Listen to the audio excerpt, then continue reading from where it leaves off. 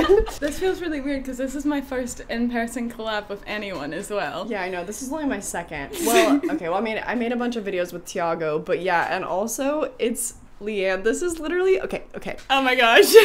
So, if you don't know, this was like my first internet friend that I made, like the very beginning of COVID. I don't know. Internet friends started first really being a thing for me. She was like my first one. you had like around 200 subscribers when I found your Oh thing. And I was like, I need to become friends with this girl. She is like so cool. It's been really surreal. I've already been here in Nottingham for two, for two weeks. I actually leave tomorrow, but we've just been like you know hanging out and enjoying our time together. So we haven't collabed yet. But Yeah. we're squeezing this in right now, and we have dinner reservations in like an hour. yeah. So it's went by so fast. okay, so we're a little pressed for time. So Yeah. let's just get started with our unpopular opinions. Um, since oh yeah, we have our drinks. Cheers. I will let you, my guest, go first. Oh my gosh. Okay, my first unpopular opinion is horror doesn't have to be scary, and your point is completely invalid if you say a certain horror movie is bad because you didn't find it scary. Okay, true fact. That is like something I argue with people all the time. They'll be like, oh my gosh, that movie was so shit because like it wasn't scary, or like it wasn't even a horror movie because I didn't find it scary. Like, I. Sorry.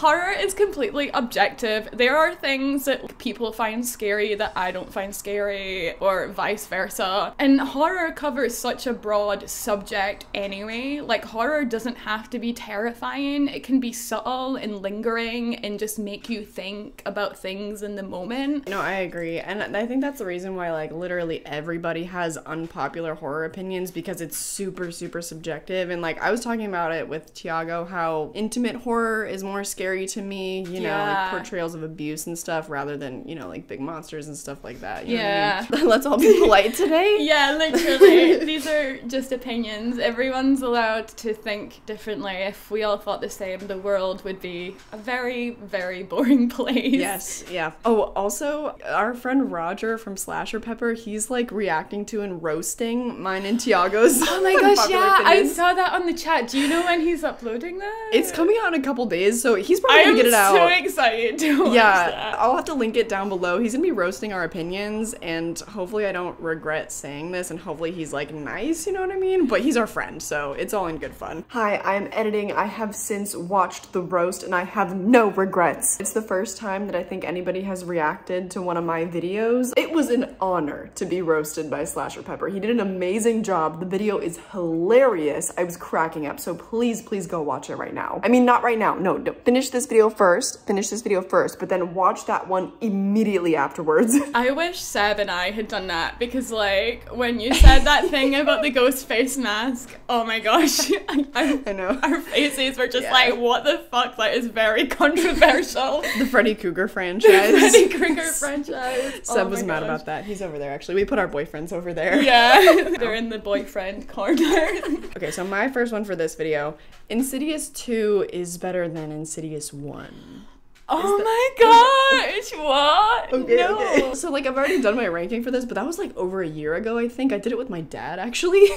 we ranked- Oh yeah, I think I've seen that video. Yeah, that was like at the beginning. Yeah, yeah, yes, yeah. yes, the beginning. So I just really, really like it as a direct sequel. I think it's one of the best direct sequels I've ever seen. And like, I love the first one too, don't get me wrong, but Mm-hmm. I just think it's so hard to make an amazing sequel because you just typically see with a lot of great franchises there's a great first movie and then there's just that gradual decline Mm-hmm. and there are a lot of exceptions honestly i mean like child's play i would say terminator you know Mm-hmm. and for me insidious is also one of them I feel like the good thing about the Insidious sequel is that it feels like a very natural continuation of the 1st Mm-hmm. movie, whereas like some other sequels feel very forced and it's like it's just a money grab. I mean, I don't know if it was supposed to be split into two sequels anyway, but like it does feel like that. it's the same team of people working on both of them and also the first movie does end kind of open-ended Mm-hmm. Yeah, exactly. Yeah, that's So- why like it makes me feel like that was already planned. Maybe the first one is really scary for me though. Like Me too, every when, time. when they go into the further and there's like the family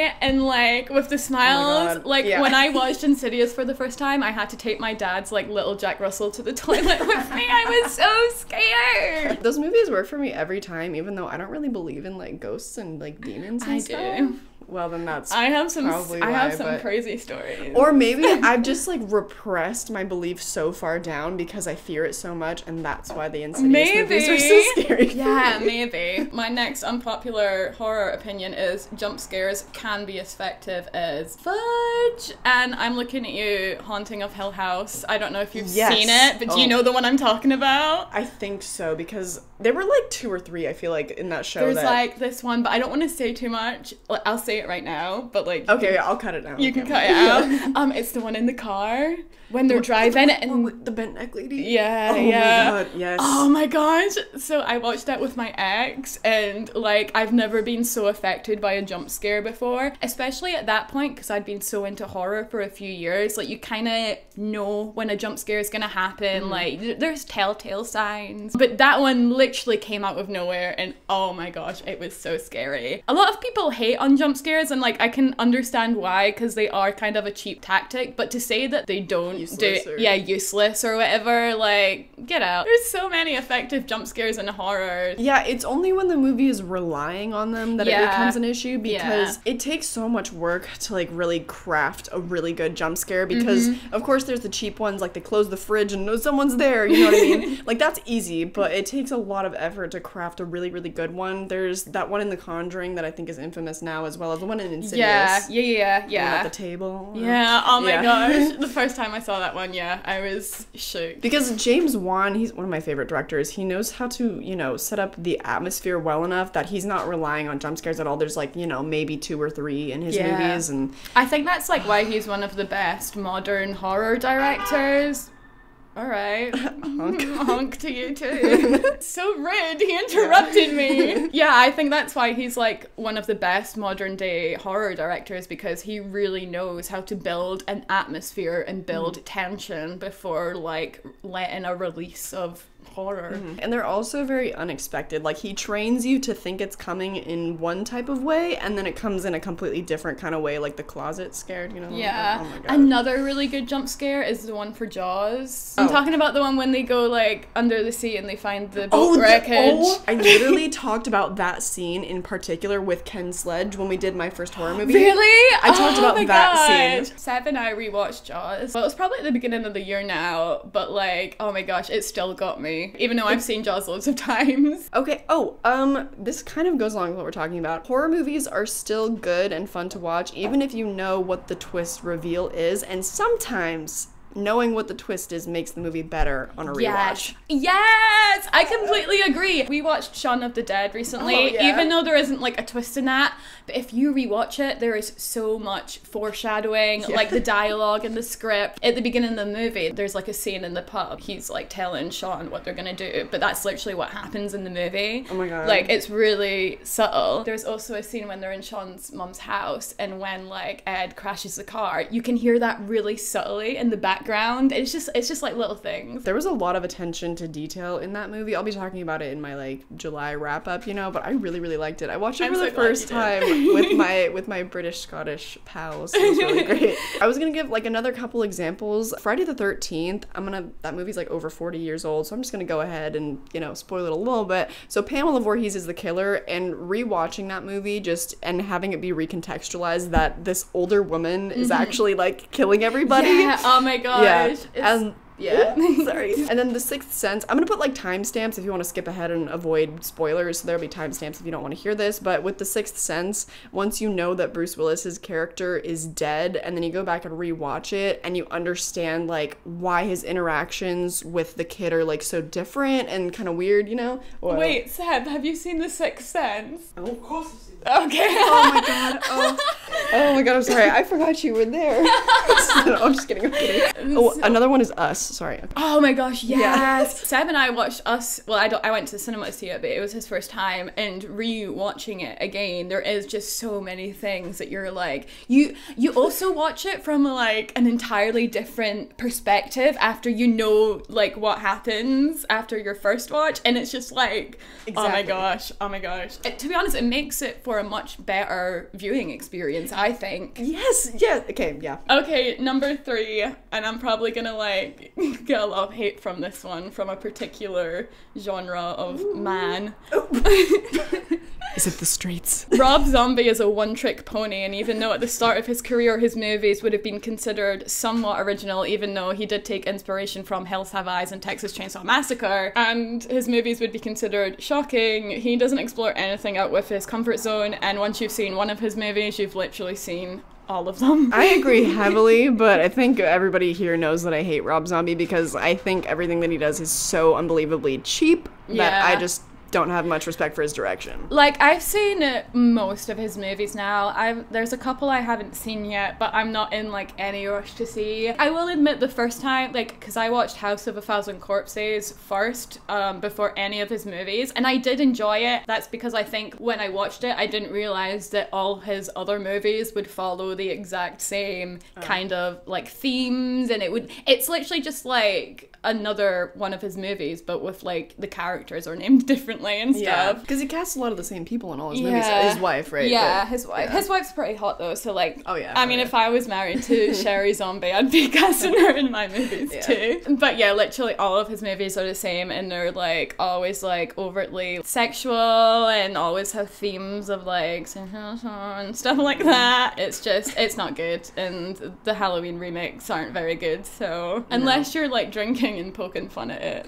that's the only time the movies are good. Okay, we agree there. I, I feel like there can't be that many Rob Zombie fans in my audience. If you're here, let me know. I'm sorry. Also, I do like his music though. Some of his music really slaps. He did a couple songs for Bride of Chucky. I like his some of his music. Yeah, yeah. His his music in Bride of Chucky was like really good. But Yeah. the soundtrack to that is like really grungy nineties. Um, it's just awesome. It's good stuff. So yeah. Things you can't see are scarier than things you can see. I have mentioned this a couple of times. Um, an exception to this is gore, but I will say that even with gore or like with body torture and stuff, sometimes if the actor is selling it well enough, you still don't even need to see it. Yeah. So I agree. No, I agree. This is like one of the issues with I have with the sequel Blair to the Blair Witch, but Oh, Blair yeah, yeah, Witch, yeah. not Book of Shadows, is because it just feels like they reveal too much of it and I thought even though well I can't really talk too much because I'll be talking about this in one of my opinions Oh, okay, um, okay. but like even stuff like gore there's times when I'll be watching a movie the camera will be like leading up to it and then it will like shoot something else but you'll hear like the background noise of what's going on that makes me cringe a lot more though I'm I think I'm pretty good at handling my gore I'm still not really. And also, like you said, though, if it's off screen, sound design is like Yeah. is like everything. If you hear Yeah. Mm-hmm. like like a squelch of like an eyeball popping or, or like a crack of like a bone, you know, Yeah. that's- it's so much worse. I mean. It's not worse. Is it worse? I don't know. I'm not really a big fan of gore, but it's just as effective to me off screen, if not more so sometimes, because whatever you can imagine is worse than whatever they could show you, you know? I agree okay know. you're probably gonna hate me for this No. but I had to add it the ring isn't a good remake to Ringu please, please, what? Okay, okay, okay. this is something I want to talk about in my channel, but like a lot of my like real life friends know that I'm not a huge fan of foreign film remakes. The Ring is considered like one of the greatest remakes of all time, and I would like completely disagree. Maybe it's because like as I was growing up, I was really into like Japanese culture anyway. Like I was really into anime, and then that grew into Asian cinema. And when I was like in my teens, I watched a lot of Asian horror movies, one of which being the entire Ringu franchise. Mm. So I saw that first way before I saw the remake of The Ring, and like I'd always heard like, oh, The Ring is one of the scariest movies of all time, and I think it maybe just got too hyped up for me that I got really let Yeah. down. There's like elements added to the story which don't make sense to me, like the whole like horses thing side Oh, you're not story. I'm not a fan of that. Like I don't understand what that like added to the original story or like whatever. I don't think it improved anything. And I don't think Samara's look is very scary. I think like the last shot looks kind of cheap. Oh, okay, that one, yeah. I, I thought yeah. you meant like when she's a little girl. 'cause I No, was like, no, oh. no, no, oh, no, no. Like the very last shot with her, like I think in the Japanese version they do that way more scarier. But I know a lot of people love it and like that's fair, but it's just like not my cup of tea. I would say there there there uh, might be a bias given how much you love Japanese culture, just Maybe, maybe. maybe. but see how opinions are not that deep because this is one of my best friends in the whole world, and The Ring is like my favorite horror movie of all time, and she's like, I don't really like it, but we're still friends. I'm sure there's like lots of movies that I really like that you're like not a fan of. Like I know one for sure, which is The Exorcist. Oh yes. You're always talking shit about that movie all the time on your channel, and I'm just like, yeah, I love that movie. yeah, and she's just cheering me on anyways. Yeah, I'm like, you go, girl, make your content. That's fair though. That's that's valid, especially like if you loved the Ringu franchise first. Yeah. Like it's you're totally valid. Oh, this oh this is okay, so now it's my turn to make you mad. okay. Oh my gosh. The original Evil Dead, actually and also the remake, but mostly the original is a very annoying movie to me. I don't really like it. Oh my gosh. Okay, let me just let me just okay. I can understand the remake. I'm not a huge fan of the remake, so Oh, I, like. thought, I thought I was alone. Everybody said the remake was so I good. know. The only part I like about the remake is the raining blood scene. Yeah. I think that's done really well. But apart from that, I'm not a fan. Like, I much prefer the original trilogy. I haven't seen the whole trilogy, but I, I think I definitely prefer the original. Mm-hmm. Yeah. It's I don't hate The Evil Dead. Um it like definitely has entertainment value, but a lot of it just really annoys me because a lot of the time I'm like, what like what is what is going on? Like this is so dumb. It just gets even more stupider, by the way. Like, Which I love campy stuff, but I think it just doesn't really cater to my sense of humor because specifically what I wanted to talk about is the one girl, I think it's the first girl that gets possessed, or maybe it's Ash's girlfriend or something, but she just laughs like nonstop. oh yeah, that's Ash's girlfriend. She she's just like laughing like like I can understand why people would find it annoying. Yeah. You might prefer The Evil Dead 2 and maybe even Army of Darkness because they kind of they don't like completely ditch the horror concept, but they do really more lean into the kind of campy fun of mm. it and like it doesn't like Evil Dead is supposed to be like a serious movie, but Evil Dead 2 doesn't take itself seriously. It's more of a parody of the first Oh, one. There's like this huge argument about whether Evil Dead 2 is a remake, is it a sequel, is it like a combination of both? So you might prefer Evil Dead 2. Isn't Bruce Campbell also in Evil Dead 2 though? Yeah, he's And- in he's in like all of them, apart from the remake. But oh my gosh, I just love Ash Williams. He is Yeah. a Oh, gorgeous man. I don't hate The Evil Dead. There's just a lot about it that I'm like, what? Like somebody wrote this? Okay, anyways. Hating on sequels isn't a personality trait, and a lot of sequels surpass the original movie, especially in horror. There are so many horror franchises where the sequel is better than the original. It's funny because we were just talking about this and I was like, you Yeah, know, like usually think- the original movie is the best one and it's hard to, but there's actually a lot of really good sequels. There is a lot of really good sequels, like Dream Warriors. There's a lot of Friday the Thirteenth sequels that are better than the original. Of course. Like, like Child's Play. I could make a video on this Yeah. actually. Arguably Scream for some people. Yeah, because Um, honestly, Scream Four is like like Scream is here, but like Scream Four is like literally like I yeah. literally like there.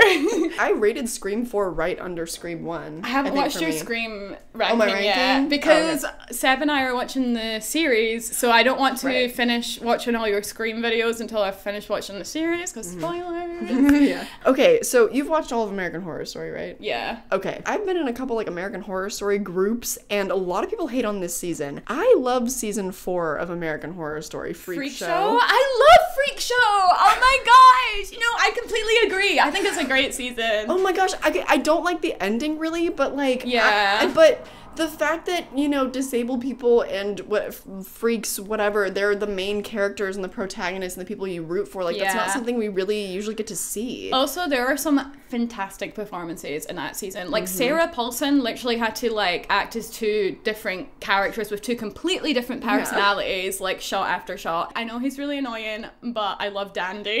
Oh really? Me too. He's such like a whiny white rich boy, like mama's boy, but like I don't know. There's something about him. I don't It's- know if it's like the psychoticness, but like.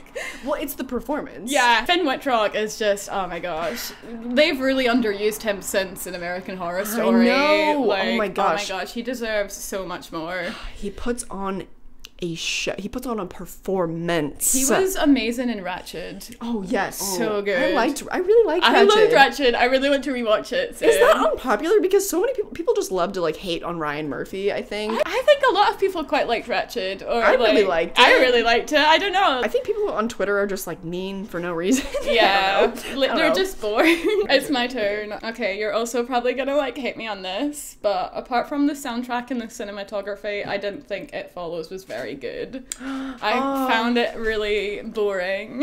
That's fair. It's a slow burn. That's fair. I'm. I, I'll hear you out on that one. No, but like I love slow burn movies. Like I would say Midsommar is also kind of a slow burn. There's like a few movies that have been really successful and a lot of people like and I really really want to like them, but I've just never been able to click. I really understand why a lot of people like it. Like it's got a fantastic soundtrack, cinematography is so beautiful, like the opening scene when she's on the beach. Like I've talked about this on my channel on like the Would We Survive These Horror oh, yeah. movies. I, I don't know. I, I feel like some of the decisions like the characters make, like her freaking out about like, oh, what should she do? Should she sleep with someone? But like, if she doesn't sleep with someone, she's gonna die. Like, girl, there's like.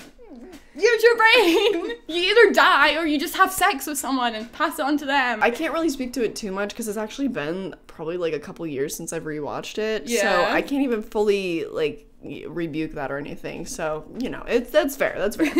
I have no idea how you're gonna feel about this, but yeah, okay. So you've seen all the seasons of American Horror Story, etc., or whatever. But even in movies as well, Taissa Farmiga is not a good protagonist.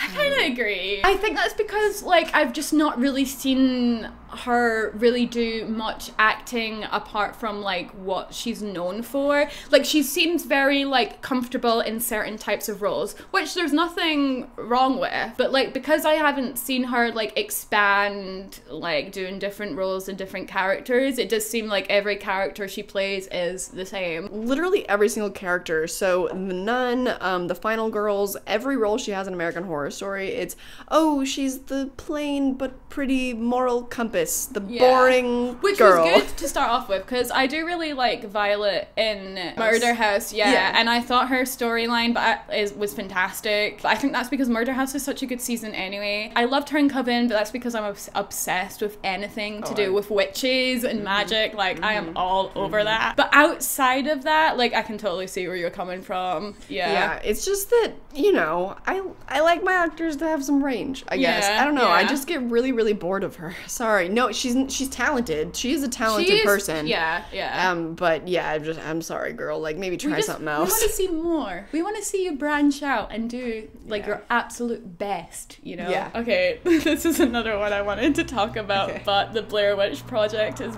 boring. I wouldn't even call that like unpopular because I think it's kind of like a 50-50 split. I don't know, like maybe it's just because I know a lot of people, like whoever I've talked to on this, have always really rated the Blair Witch Project. I just want to say I don't hate on this movie. I've seen this movie so many times because I really want to like it. So I've watched this movie on different occasions, thinking like, oh, if I watch it this time, maybe I'll understand the hype. Which I guess I can kind of do understand the hype because I guess it's kind of similar to like The Exorcist in the way that like it was so culturally like impactful. Like it was the first movie to well horror movie to really use like the internet as advertising, and it did the whole like oh it was a real life story, mm-hmm. and they like had released a documentary before the release of movie, and there was a website and the missing posters and all that jazz. So I completely understand like why for its time it was like an amazing thing. I find that the like actors in it really annoying, especially Heather. Like Oh, really? The main girl? yeah, No. she just doesn't stop screaming, and I just want to like slap her and be like, "Keep it together, girl." And like the guy who like froze the map in the river, I'm just like, "Oh my Oh. gosh!" Though I do think like the nighttime scenes when they're in the tents, and like especially because when we watched it recently, it was like surround sound, and sometimes you couldn't quite tell if it was like you were hearing what was coming from the speakers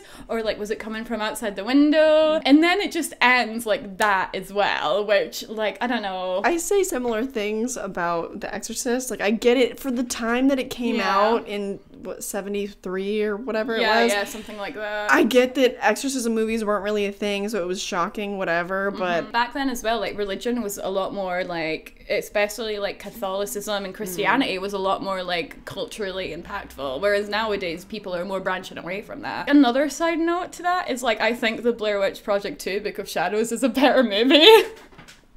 I uh, I could not even finish that sequel because of how much I hated the characters. I could not stand it. The characters are kind of annoying, but I don't know. It's got like such an early 2000s, late 90s grungy feeling about it. I feel like at least things happened in that movie to like keep me hooked. That's one thing that I don't really understand when people talk about the Blair Witch Project because things happen. Like really horrifying gross stuff does happen, but everybody's like nothing happens in that movie. But like it but it does. Like the teeth The very first time I watched the Blair Witch Project, I was pretty young. I think I was like 11 or 12, and I was at a sleepover friend's house, and this was way before I got into horror. And she was like, "Oh, we need to watch this movie. It's like based on a real story." We didn't even finish it because like we had to turn it off because it was like a bunch of 11, 12 year olds Oh, yeah. screaming, freaking out. when I was a lot older and I watched it, like I finished it, and I was just like. Oh, what? What what was that about? Okay, okay, my turn. Okay, this one I included because I know you're not gonna like it. That's why I included the ring one. I was oh, like, Oh, yeah. Kylie's not gonna like this one. Yep, so that's that's this one as well. I find the original Black Christmas to be very boring. I love the original Black Christmas. It's one of my favorite slashers of all time. Seb also didn't wasn't like a huge fan of it though. So like I can understand it's quite slow. I think the reason why I like it is because it touches on some taboo subjects that like the topics of abortion come up. I just think that's quite refreshing to see in a movie that old. Mm-hmm. And they've tried to remake it twice, but they've not captured like the essence of what I think the original Blair Witch Project. Blair Witch Project? oh my gosh! The original Black Christmas. Because I feel like if they were to remake it, they should do it something quite similar to like Sleepaway. At Sleepaway? Oh my gosh, I'm getting all my movies mixed up. Slumber Party Massacre. They should touch on like the feminist undertones of what the original movie had. I haven't watched the remakes, so I can't I haven't speak to seen that. the new one, but I've heard it's awful, and I watched the trailer, and it just, I don't know. I think the trailer also spoiled like one of the biggest Yeah. reveals. So Yeah. so now I'm just like, what's the point? Because now I'm gonna know what it is, and I'm just Mm-hmm. gonna be mad the whole time that I watch it. I normally like react for trailers on my channel, but I haven't watched the new Halloween Kills trailer because I've heard that there's a lot of spoilers in that. And I'm like, why do you need to put spoilers in a Halloween trailer? People are gonna go see it anyway. It's got such Mm-hmm. a huge established fan base. You know, like you don't need to put spoilers, just put like a zoom in of Michael Myers. Loads of people will come. Yeah, and people will freak out and they'll be like, Did you notice the new tear on the, the left side of his mask under the ear? And that builds more hype because then people are more curious and there's more left to the imagination, so people talk about it. So look at us, look at us, marketing geniuses. Yeah.